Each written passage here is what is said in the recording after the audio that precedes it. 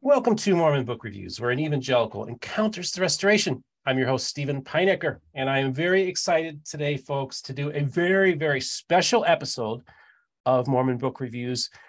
I haven't done this before. I gave you a little teaser earlier tonight that I have somebody who's was intimately involved in the project of identifying, uh, knowing the discoverer of the Joseph Smith photo that just was released yesterday.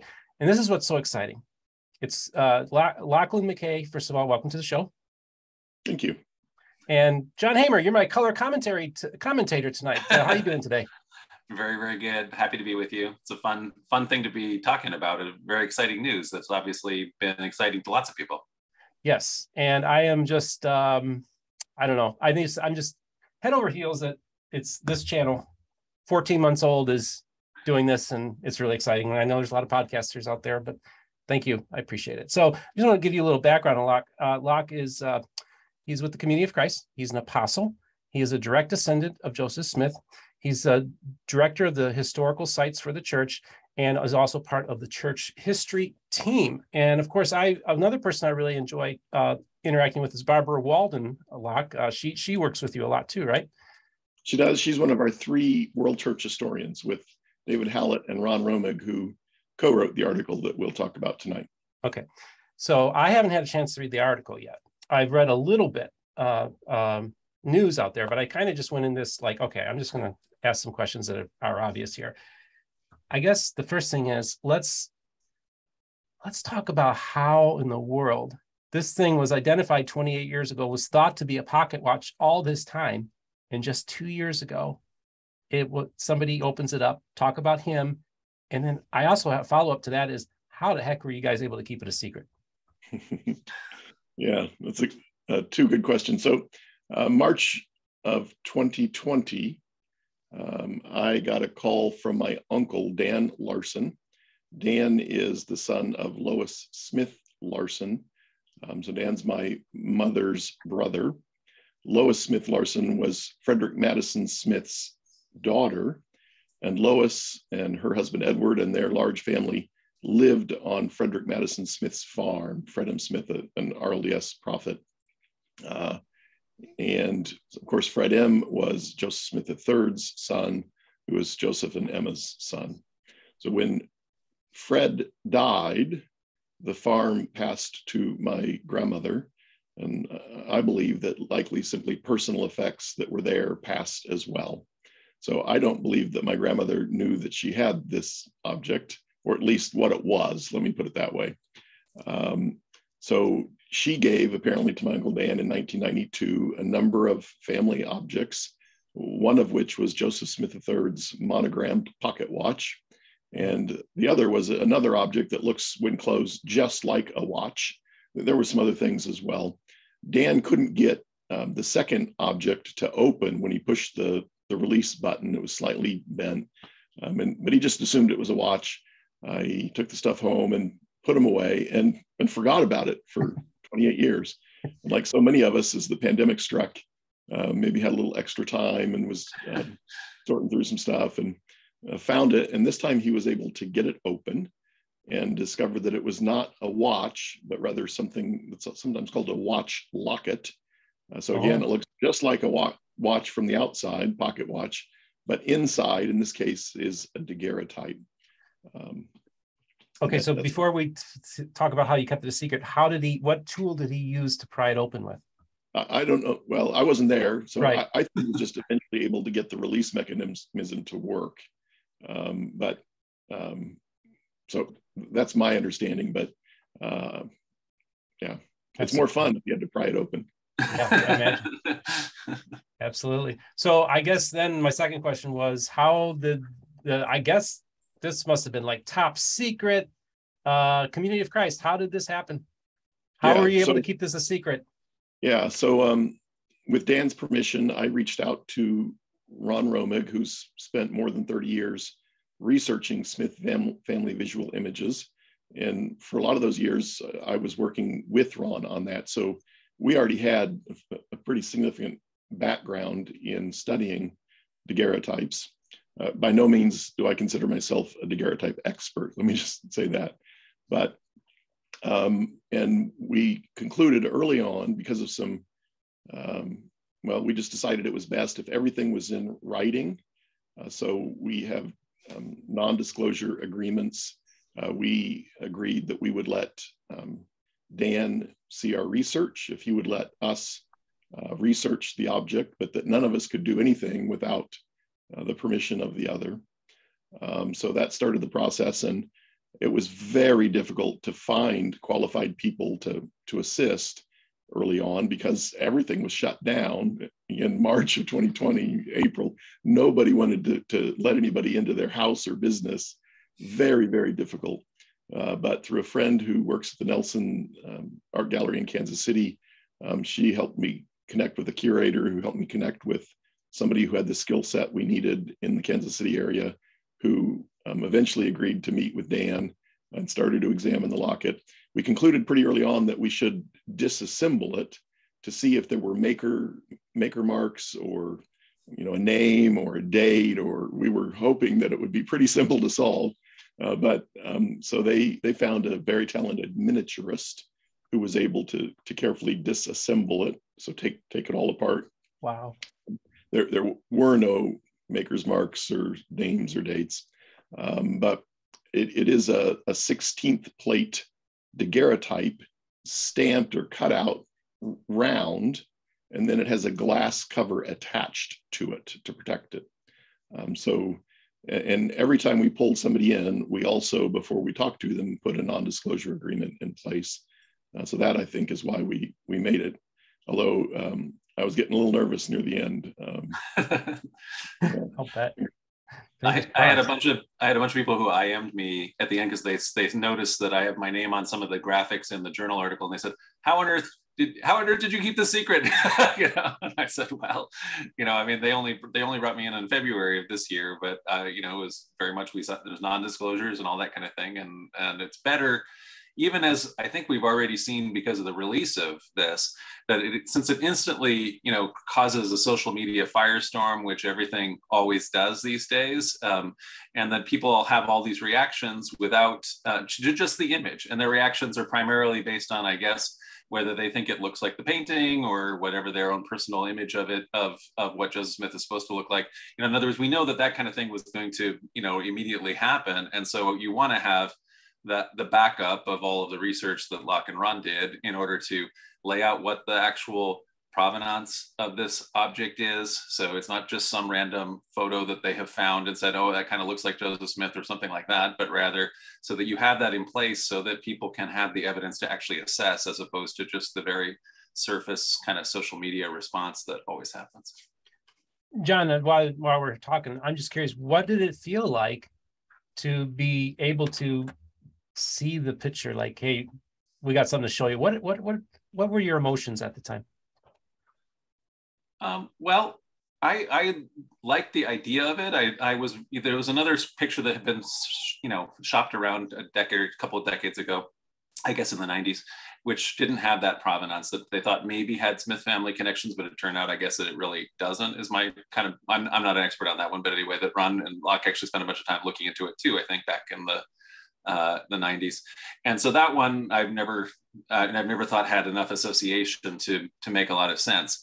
I'm generally with these kinds of um, finds fairly skeptical. So like usually, um, you know, there's all of these things where people would love to find something about, you know, the historical Jesus. So they they find the the Gospel of Jesus's wife, uh, you know, a you know, a, a what ends up proving to be a pretty um, pretty obvious uh, forgery of a you know a Coptic papyrus or whatever that's that's kind of based on Da Vinci Code style uh, sensationalism, or you know this this thing of finding a mausoleum of Jesus's family or something like that, because because it says Jesus and Joseph and on some of some of these tombs. Uh, and so I, my feeling on those kind of things is it's very unlikely we're going to find anything about the historical Jesus because of how you know how famous the guy was compared you know in the three centuries after his death compared to how little um, actual um, archaeological footprint or anything that he would have had in, in his actual lifetime. In other words, everybody was pretty desperate in the fourth century to find anything they could find, and there's very unlikely to find anything uh, subsequently, you know?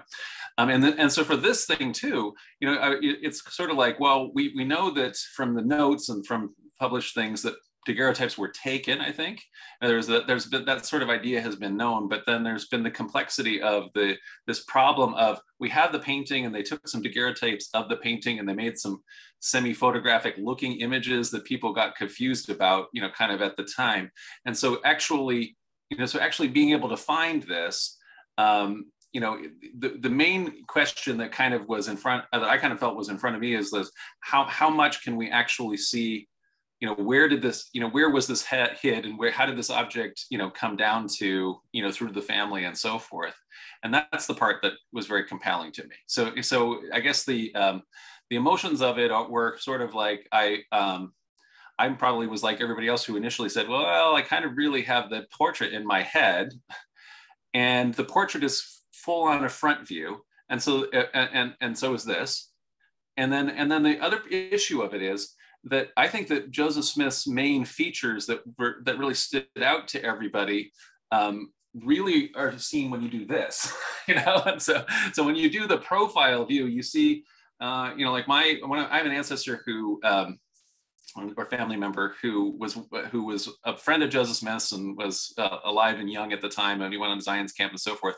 He later uh, he later was an apostle under Sidney Rigdon, and he, and he became a, a spiritualist and kind of an anti-Mormon at the end of his life. And he wrote like a bunch of reminiscences to the Salt Lake Tribune. And he says as he's out visiting the Salt Lake Tribune in the in the 1880s or something, he says, "I've seen all these images that you guys have of Joseph Smith, and I'll tell you, they flatter him a lot because he doesn't look that good. you know, he was you know he had a he had a very you know pronounced kind of not nose and, and his forehead sloped really back. And he was he was vain but he wasn't wasn't good looking. You know he was charismatic but not not a, not handsome or whatever is what he's kind of saying. And so i kind of had that have had that in my head. And so the certainly the uh, the Maudsley profile ones are kind of the ones that really um, have stood out as me as being very very how I kind of personally have envisioned Joseph Smith. And so the thing about a, a portrait like this where you have a photograph. Is a lot of people think cameras don't lie but actually there's a lot of ways that cameras do lie. So even if so one of the things is well we just don't people a lot of people immediately say i don't think there's enough nose here you know to have to get the smith nose. But the when you have the straight on view of the nose that's when you're seeing the least of it you know? And, and so so especially if you're upturn a little bit.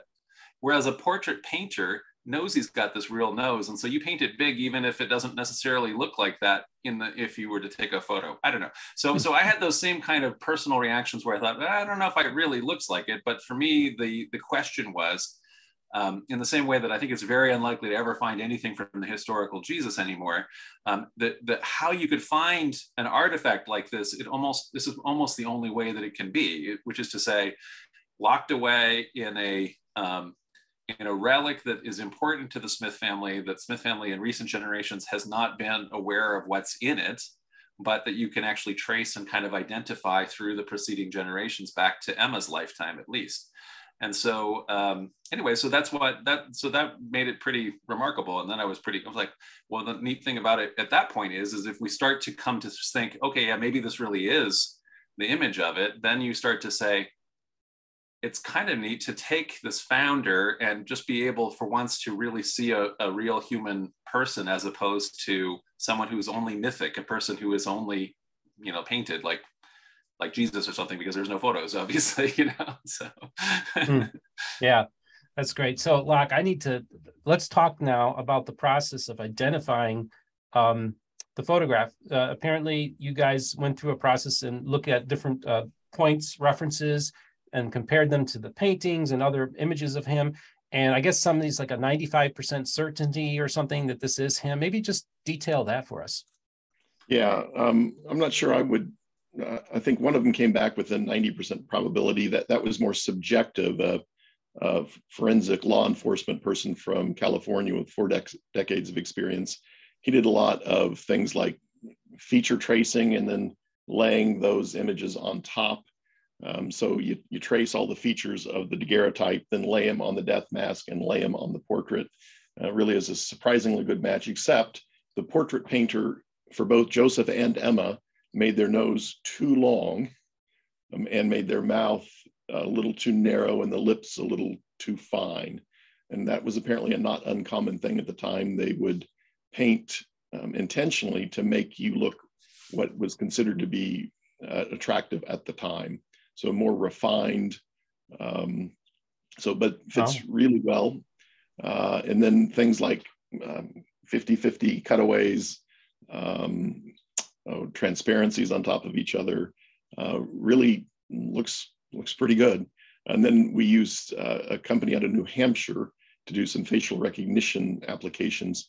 Now, facial recognition works best when you have multiple known photographs of a person and you're then testing another photo against them. So this is kind of a, uh, on the edge of what facial uh, is capable of doing, I think.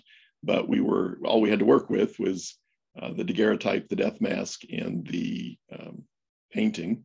Uh, and they came back with 19 of 21 points within the 5% realm.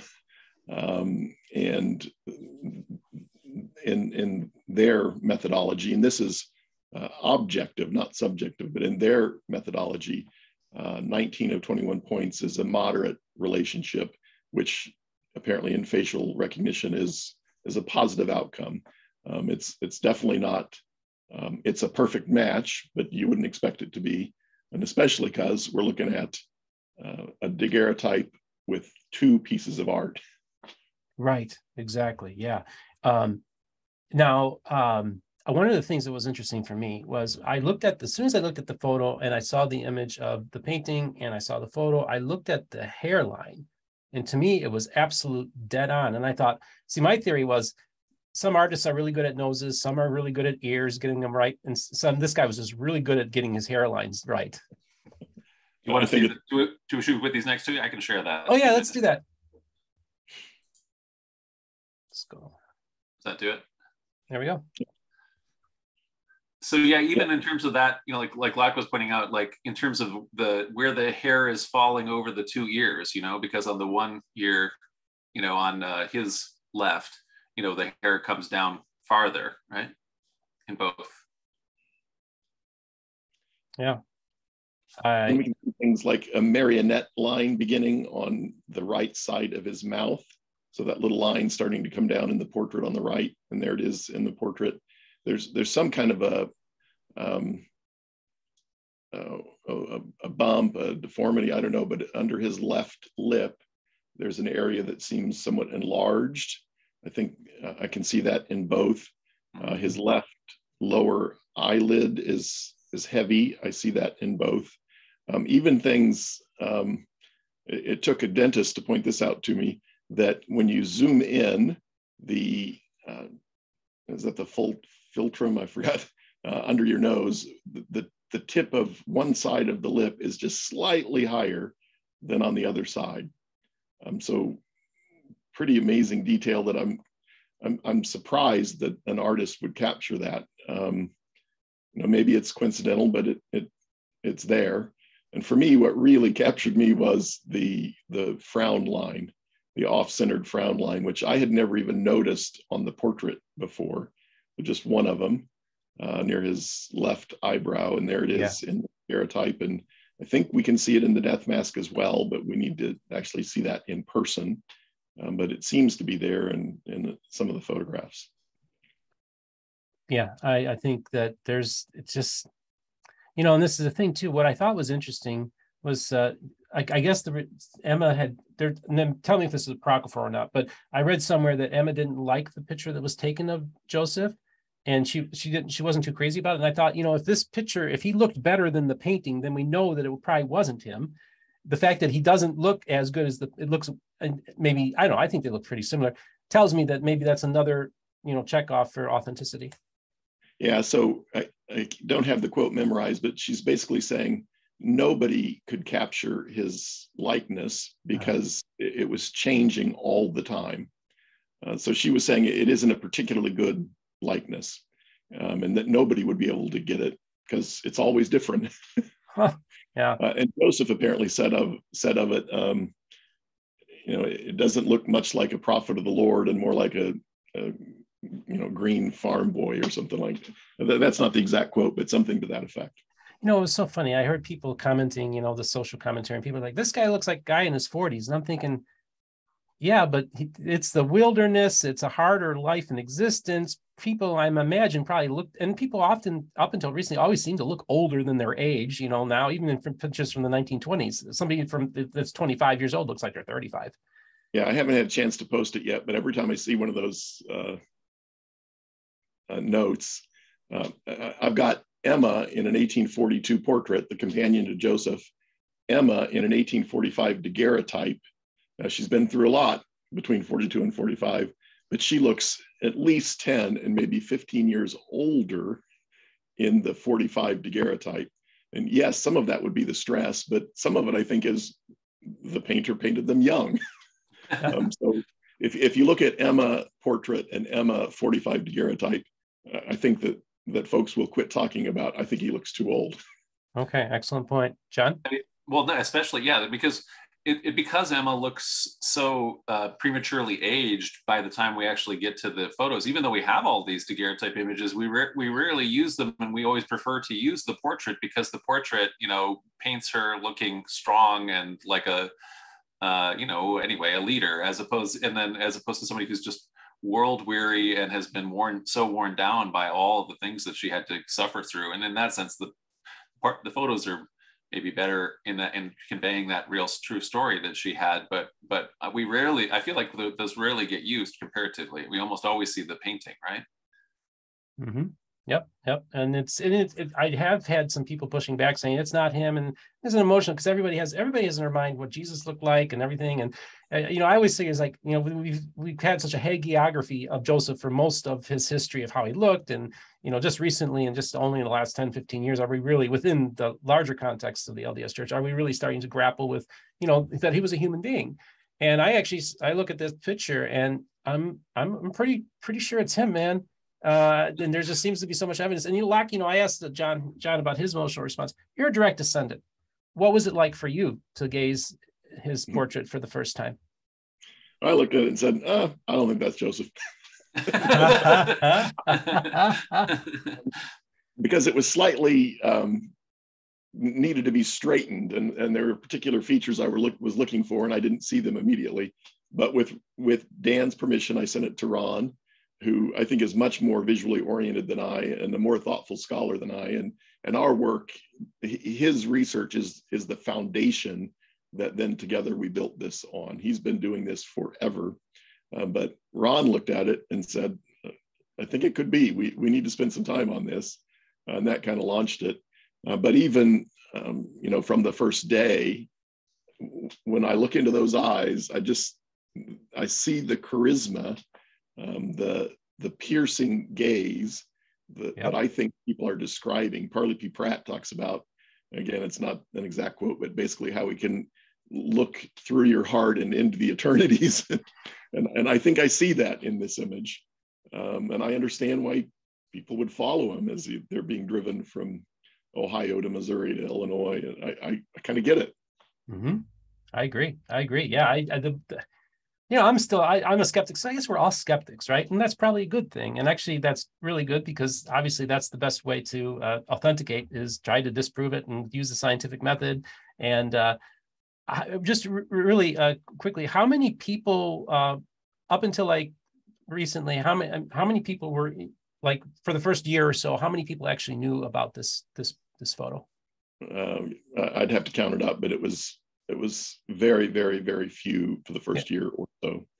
Um, my mom, because she was in the room with me when I opened the email from Dan, Kristen, my, my wife, because she was in the room when I opened the email from Dan. Um, and and really only the people and, and Dan's spouse Rosemary of course but uh, only the people that were directly involved and Kristen and Rosemary were quickly involved in, in helping with researching the photographs uh, that, and they're the ones, Kristen started finding the first uh, image of a prominent Smith woman wearing it. Um, the one we first found was uh, Emma Josepha, um, who's Joseph III's first child, Joseph and Emma's oldest grandchild. They called her Emma J. And she was also given by Emma the bead necklace, the gold bead necklace that Emma is always wearing. So kind of the favorite grandchild is the first. Um, and Emma J had it for decades, decades. Um, you know, I think just thinks, uh, you know, well, John, uh, let's talk a little bit about you too, because you, of course, uh, designed many of the covers for the John Whitmer Historical Association. Um, and that's how you got involved to be able to find the photo. Just maybe talk detail the choices you made in making what what was like what what made you decide to frame it the way you did? And and did you did you spend a lot of time on it or how did that I'll, I'll, I'll, just well thank you for thinking so but uh, i'll just say in this particular case uh you know no i've been i've made i think at this point now uh jwha journal's been going on for a long time but i think i've done more than the majority now of the covers because at a certain point it started they started publishing two a year and so therefore i rack them up faster than all the people that had done them in pre- previously. And some of these are very are are very artful and i've spent a whole bunch of time on them in terms of what my, what it takes for me. In this case this thing made itself okay. you know, because essentially there's the locket you know and I, it was just a matter of me choosing where to crop it and where to put the you know the the jwha part and, and so forth on, on, on it. But it was a very um, it was a very low impact design task for me. Uh, a matter of deciding to the main the other main article in this is um, in this particular issue is Jill Brim's uh, you know lifetime of work on the on the Red Brick Store, and she's the outgoing uh, president of the JWHA Journal, and so wanting to also put the the Red Brick Store image on the on the cover, so that's on the back cover, because um, uh, that also I mean obviously uh, this event took you know, uh, you know, it's a, it's the front cover story, right? So, mm-hmm. and and Jill was very happy. She wrote me a very nice letter today. So oh, that's great. It, so, but yeah, so uh, in terms of that, I've been I've been I don't know since uh, I think yeah 2005. I've been I've done all the typesetting and design and and uh, interior illustrations and charts and maps and also covers for the JWHA journal. And so and so that's why kind of, I guess, beginning in February, I, I started getting emails from Locke, which was saying, um, I know you can't keep a secret, but but I have to start talking to you. And so if I'm going to tell you this, you've got to keep a secret, you know. And, and, I'm going to send you a contract that you know making that clear. And and not only is there a contract, but I also I also really mean it. so anyway, so I was able to keep a secret. Oh, that's, so. that's great. So Locke, are you going to be at Sunstone this year? I will be heading out to Utah. Yeah. Okay, so I will be seeing you there. I'm excited about that. Uh, you're going to be a rock star. You realize when you go there. Mm, I am extraordinarily introverted, so I am not too excited about that. well, I'll, I'll I'll try to deflect for you. How's that? You know. so um, now, Locke, from my understanding uh, from the article I read earlier today, you're actually going to be giving a presentation at the Smith family reunion next month about this. Yeah, they're um, they met for the first time, I think it was 1972 here in Nauvoo. That was the first uh, large Smith family reunion, both um, RLDS and LDS. Uh, and so they're coming back uh, in 2022. They'll be here in the next, oh, I guess two weeks. So looking forward to that. And then uh, Dan and I, um, and this maybe was one of the the most emotional parts of of the whole process. After all these years of well, two years of working on it, uh, I invited some of my siblings and their children, my mom and stepdad, and uh, Dan brought some of his family together, and we had a, a, mini family reunion here in Nauvoo, in the met in the Nauvoo house, uh, and then kind of unveiled it to everybody. Wow. So that that was an extraordinary experience. That was um, made made all the work worth it.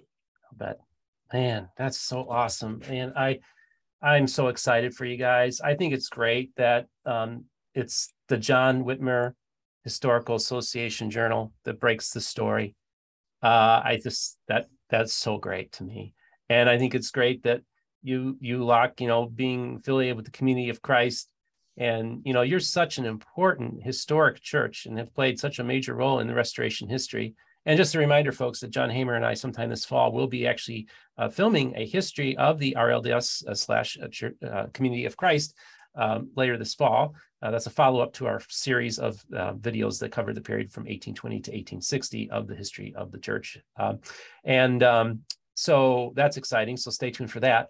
Uh, Locke, I, I want to ask you, um, you, have you guys been getting any pushback, and do you think that any of the pushback you're getting, uh, there like, is there an argument that somebody's using against the photo that you think is a pretty strong one, or do you think that you guys have a pretty solid case?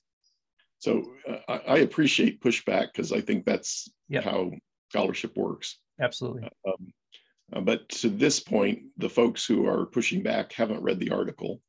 Um, uh, uh, there's probably a few exceptions, but um, you know, I'm seeing a lot of, oh, he looks too old, and it's um, A lot of like he looks like this looks like it's really Hyrum, yeah, Mhm. or this looks like it's why isn't it Samuel or something? And then I'm kind of like, well, why does Joseph Jr.'s beloved eldest granddaughter hold this as a cherished relic if it's Samuel? You know, Yeah. or whatever, or William. Like people saying, why isn't a young version of William or whatever? Well, they didn't like William. So I don't think you'd be holding this around your heart as a locket if it was William. But anyway, so- proudly for decades. yeah. Uh, I'm also also seeing a lot of it doesn't match the death mask, um, and and the the experts that we hired to to do that, um, it, it matched really extraordinarily well. Um, so I would encourage people read the article and and then let's Yeah. uh, let's explore. Let you know I, I, I look forward to those conversations. I am confident there are people out there. I'm actually relieved that we can now broaden. um the the number of folks that are looking at it. And, and I am confident that there is information out there that, that will help us um, continue to understand this object. Yeah, so uh, I can't wait now. The the journal, I'm a I'm a subscriber. I like reading my books. I don't like PDFs, so I'm waiting for the hard copy to come. Have they been dropped in the mail, or should we be looking for them in our mailboxes? Those who are members of the uh, historical association. I think so. Should they should be, um, if not sent already, they will be being sent out very soon because uh, we wanted to have everything ready to go when the when the news was going to hit. And so before um, uh, before Locke, you know, sent out the press releases and so forth, before the J- the JWHA sent out the press releases, um, we had it set up so that the journals could the print copies could be mailed. And so I'm presuming that they have either been ordered or will be begin to be mailed out at this point. But I know that you can, you know, if you're not a member, you can order you can order a hard copy right now on Amazon. Amazon will ship it to you in just a couple days. Um, and you can, like you say, if you are less um, like you and me and maybe Locke when wanting the hard copy, you can also order the e-copy and get it immediately. But for people who are already members, it'll come very soon. Good, excellent. And uh, just uh, a real quick, Locke, are you going to be giving a presentation of this at the John Whitmer Historical Association, which is celebrating its 50th anniversary this year? Yeah, I am. Ron Ron Romig and I together will be sharing about it. And I'm especially excited to be able to do that because Kristen, my spouse, is the president this year. So 50 years, Kristen, my wife, is the president, and uh, get to talk about something I love. Yeah, that's great. Like, somebody asked, is, are you guys, will the artifact actually be able to be there or, or not? I, I would guess not. Um, Okay. Yeah, I think. Uh, yeah, I think it, it'll be pretty carefully. Guarded, yeah. Yeah. Okay. I just was wondering. I, I told I don't. All I promised people was there would be high resolution images. you know. So, Locke, was there anything else that you wanted to share with our audience tonight? Anything that we didn't get to?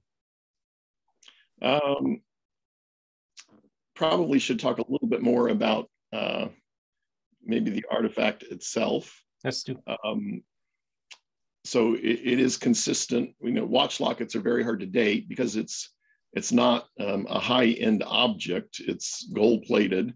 They're being mass-produced as much as anything was mass-produced in in the 1840s. Um, so uh, nobody has become an expert on them, and there's no maker's mark on it. But it's consistent with the period. They are advertising for sale in The Prophet, a church newspaper in New York City, daguerrean lockets uh, among the supplies that daguerreotypists can buy. And these people are shipping all over the country. Uh, so we know that the locket is available. Um, Lucian Foster, of course, the best candidate. We, we don't know for certain, but he's the New York City branch president. He moves to Nauvoo, arrives two months to the day before Joseph's death we're not certain that he was he had the equipment to take daguerreotypes prior to Joseph's death, um, but he's the best candidate. Uh, mm. And we, in, in the early 90s, I found what's likely the first photograph of Lucy Mack Smith, Joseph's mother. And I found that in Lynn and Lorraine Smith's attic. Lynn, a son of Albert A. Smith, who was the son of David H. Smith, Joseph and Emma's youngest son. So in an attic um, trunk, there was a picture of uh, an envelope full of photographs. The envelope was labeled Mother Smith's Pictures which in this context was Clara Hartshorn Smith, David Hyrum Smith's wife. And in there was a little carte de visite uh, of a piece of Daguerrean jewelry or a coat button, we thought it was initially. So it's a photograph of a daguerreotype. Uh, we now realize that almost certainly what that photograph is of is another Daguerrean locket insert, just like the one in this locket. So that tells us that the Smith family has access to the technology, that they are utilizing that technology. This is that uh, one, right? Yeah, that's it. That's it. Uh, so even the similar pose to the Joseph object, um, the background is similar. You know, I'm not certain, but I think I might even see some similarities in the way it was stamped or cut out. The daguerreotype turned into a, a round plate. Um, and there's a, a, painting based on this. It's a copy of this, uh, which I believe is hanging in the Nauvoo Temple by January of 1846. So we know it's at least mid 1840s. Um, so I think that's pretty compelling. Um, what we don't know is how did the locket make make it from uh, my grandmother's aunt Emma J to my grandmother, and we talk about three different paths that might have followed. It, if it continued down the, the prominent Smith female line, Emma J might well have given it to Fred M. Smith's wife, Ruth. Um, again, Fred M. was the president of the church by that point. Ruth tragically killed in a, an automobile accident. Um, and so she gave half of her possessions, her personal effects to one daughter and half to my grandmother. It's possible it passed that way might have also passed from Emma J to Fred, and when he dies, then goes to my grandmother among his possessions. I guess it's possible it went directly from Emma J to my grandmother, but I'm I'm kind of doubtful on that one. But somehow it makes makes its way to my grandmother from Emma. Um, so, you know, I, I, wish we do have Joseph Smith III saying, uh, I have a daguerreotype of my father, and I believe it was made by by Foster. Um, he thinks it might have been 42, 43. I think he's off a year or two. Uh, but um, Foster was seemingly in Nauvoo in 42. I don't think he stayed, but it, he does appear on a, a land record um, even earlier. So I guess that's possible. Um, but but Grant Romer, who's probably the expert on daguerreotypes in the U.S., thinks that that this image probably doesn't date earlier than 43. Um, so um, yeah. Uh, I would just encourage people to read the article. Yep. There's a, lot of information and do not skip the footnotes. There's really important information in the footnotes. We address the, the 1879 Carson image, which people get confused by and think it's a photograph from life. We address the 1885 Carter image, which people get confused by and think it's a photo from life. Um, they're not. Uh, Carter is a photo of a daguerreotype of the oil portrait. Carson is a photo of the portrait itself. Both of them touch them up and sell them. Um, hmm. So read the article. A lot of good stuff there. Good stuff. And uh, do we have a photograph of Emma actually wearing the locket? We don't have a photograph. And we there might exist a Sutcliffe Maudsley uh, profile uh, of Emma with the locket. So um, I think it's plate 18 in Stephen Bule's uh, book on Sutcliffe Maudsley, um, B-U-L-E, Stephen Bule. Beautiful book that he has done. Plate 18, I think it is, and it is Emma with Alexander, one of her sons. And she is wearing on a ribbon around her neck, tucked into a pocket on her dress, um, an object that is either a pocket watch or a, a watch locket. Uh, not enough detail to know for sure. And Emma is described at her wedding to Lewis Bidamon as wearing uh, a pocket watch or a watch on a heavy gold chain. which is what we see on Bertha Madison Smith, Joseph III's wife, and on Emma J for two of the three images until late in life. She puts it on a thin chain and wears it as a necklace versus as a heavy chain, wearing it like a, a locket. Hmm. And we don't, do we have any record um, of journals uh, describing this item at all? Maybe talking about it. I mean, it just seems like it's been passed along all along, and there's no documentation of it. Yeah, so maybe there's a reference from I think it's Emma J who's talking about it um, about a watch that um, that Emma had, and so there's uh, we're not clear. Is she talking about a, a Smith family pocket watch, or is she talking about the watch locket? Again, it looks just like a watch when it's closed. Um, uh, so maybe um, uh, just not not certain. Okay, that's good. Hey, uh, John, was, was anything you want to add to this?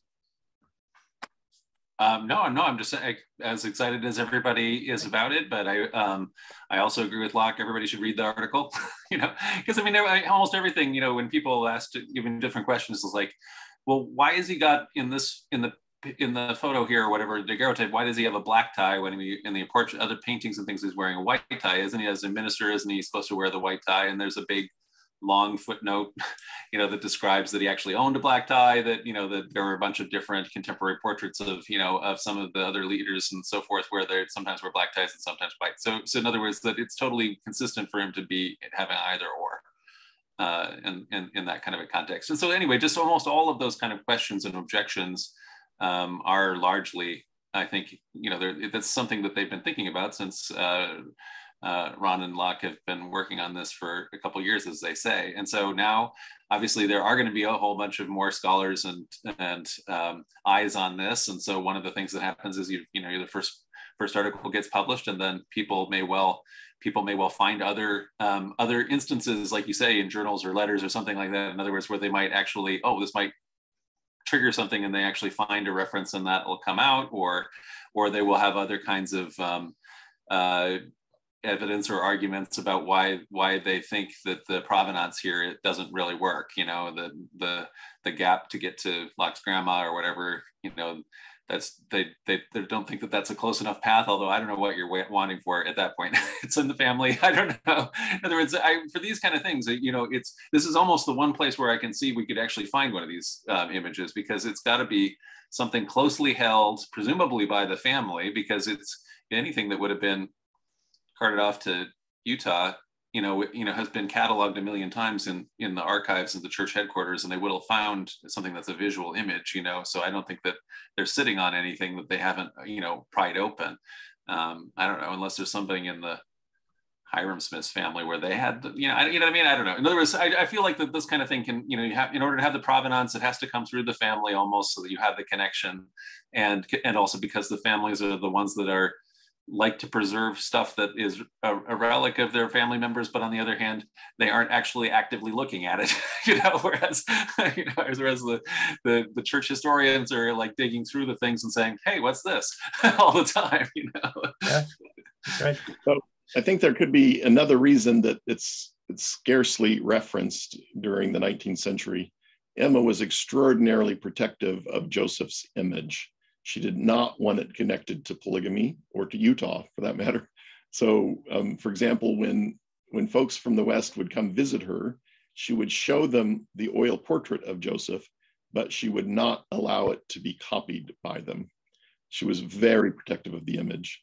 And, and uh, we have wondered if, if part of why they were not talking about it and not sharing it is that they wanted to carefully protect it and my wife Kristen pointed out that that might well be why it was with the women. Nobody would think to ask the women. They're invisible, tragically. Um, so, uh, and, and, people were asking the men. Um, Fascinating stuff, guys. You know, first of all, John Hamer, thanks for doing the solid and helping line this up. I contacted you last night around 9, 10 o'clock, and we was touch and go. And and uh, thank you for you know uh, helping arrange this. I was very happy to, and it's always wonderful to be able to talk to you and also to talk to Locke. Um, just couldn't couldn't be more excited with uh, the work that he and Ron have been doing. And Locke, I want to thank you. Wow, thank you so much for coming on. I've been you know, I met you about a year and a half ago in the Community of Christ. We were doing the um, we were doing the book club for Joseph Smith III, and that was my first foray, my first toe dip into the restoration. And I remember Barbara Walden and you and the crew, and that actually helped me network out with a lot of people. Um, I just want to thank you for being so um, nice to me uh, I would come in every meeting and say, and there were about 100 people on the Zoom call, like, hey, I'm your evangelical interloper, you know, and I want to apologize on behalf of all the horrible things we've been doing to you guys for the last 200 years. so I just want to thank you for you and Barbara and all those affiliated with the Community of Christ for making me feel at home. And I want to thank you for coming on tonight. It has been truly a blessing. Love doing it. Love doing it. Thank you for the That's opportunity. Great. And oh, and thank you for giving the tour at Nauvoo when I was there a few weeks ago too. That was awesome. So, well, guys, I it's a Friday night, and I'm gonna possibly post this this evening. People are really excited about it. Um, I'm excited, and uh, I want to thank you both for taking the time to do this. And uh, hopefully, hey, the next big discovery. You, you, give me the props ahead of time. We could have we could have this all arranged beforehand. So, so folks, I just want to remind you to don't forget to like and subscribe and hit the notification button for when a new video comes out, just like one like tonight. Uh, you don't ever know uh, when one's going to come out. Also, just remember that there are links in the description that if you'd like to support the channel on PayPal and Patreon, as well as our merch store. Our merch store is doing very well. We're selling surprisingly a lot of coffee mugs. Uh, so either way, I uh, just want to thank you all for uh, staying up and. and enjoying this. And this is a real treat. And I'm glad that this channel is able to help uh, continue the conversation and open people's eyes and, and educate them. So thank you.